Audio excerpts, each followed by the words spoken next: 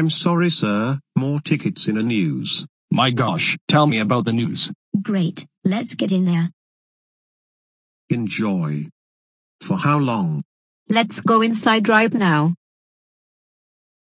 What does that mean?